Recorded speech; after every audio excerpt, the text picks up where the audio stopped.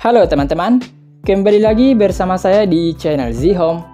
Dan seperti biasa di channel ini, kita akan membahas berbagai trik dan tutorial, serta informasi menarik terbaru seputar Android.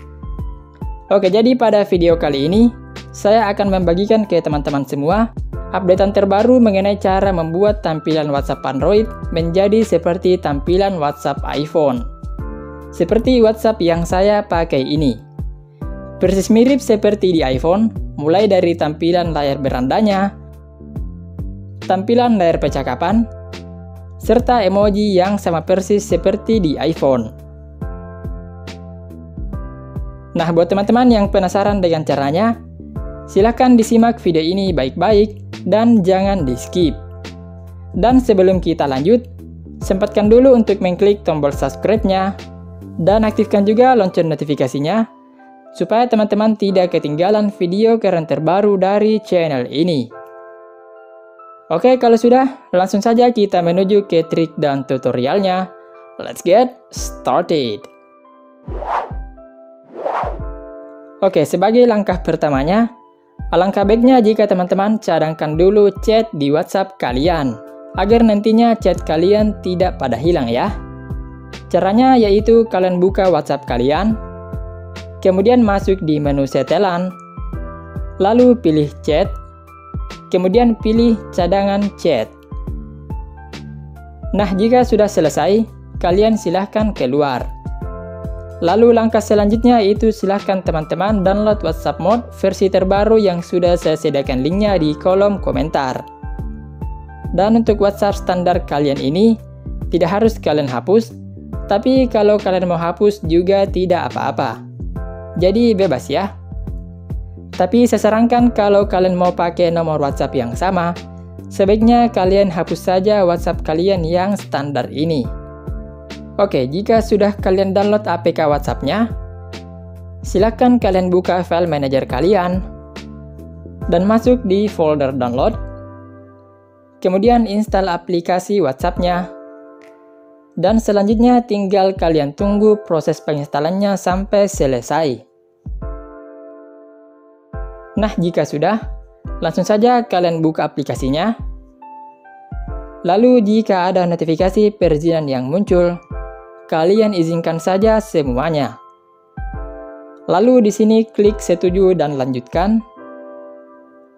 Nah, pada bagian ini kalian silahkan masukkan nomor WhatsApp kalian dan pastikan nomor yang kalian masukkan masih aktif ya, karena nantinya akan dikirim SMS berupa kode verifikasi. Oke, lalu pilih lanjut, kemudian oke, lalu lanjut, lalu izinkan. Dan tunggu sampai kode verifikasinya terisi. Biasanya akan terisi secara otomatis sih, tapi kalau tidak, kalian bisa masukkan secara manual Kalian cek aja kode verifikasinya di SMS masuk kalian. Oke, selanjutnya di sini kalian pilih lanjut untuk memulihkan data chat di WhatsApp kalian. Lalu pilih izinkan. Dan sekarang pilih pulihkan. Tunggu sebentar sampai proses pemulihan data chatnya selesai. Jika sudah, lalu klik lanjut. Nah, di sini kalian isi nama kalian, lalu tap lanjut. Di sini pilih aja jangan pernah, dan selesai. Oke, di sini untuk tahap penginstalannya sudah selesai, dan untuk mengubah tampilannya menjadi seperti iPhone, kalian klik aja titik tiga, pilih Aero Modes, lalu masuk di Aero Themes dan pilih unduh Aerothemes. Nah, di sini kalian ketikkan iOS pada kotak pencarian dan pilih tema Aero underscore iOS. Lalu kalian klik install atau terapkan. Maka sekarang tampilan WhatsApp kalian jadi 100% mirip banget dengan WhatsApp yang ada di iPhone. Nah, untuk tampilannya tentu saja keren banget dan pastinya kalian makin percaya diri saat membuka aplikasi WhatsApp kalian di depan teman-teman kalian. Terlebih lagi jika misalnya kalian melakukan video call.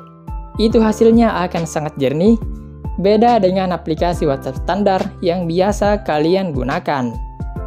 Dan parahnya lagi, di sini tidak hanya berubah di tampilan berandanya saja, tapi di WhatsApp ini kalian bisa mendapatkan emoji yang persis seperti di iOS atau iPhone.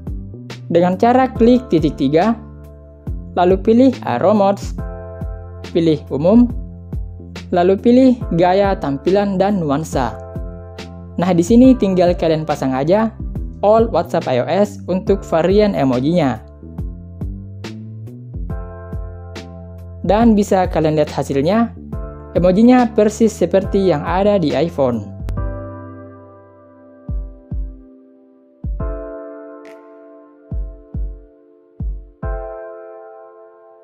Oke teman-teman, itu dia cara yang bisa kalian lakukan untuk membuat tampilan WhatsApp kalian jadi makin keren seperti WhatsApp di iPhone. Jangan lupa like dan subscribe jika video ini bermanfaat bagi kalian dan bagikan juga ke teman yang lain agar mereka mengetahui apa yang kalian ketahui. Dan oke, okay, sekian dulu untuk video kali ini. Thank you for watching dan sampai jumpa lagi di video selanjutnya. See you next.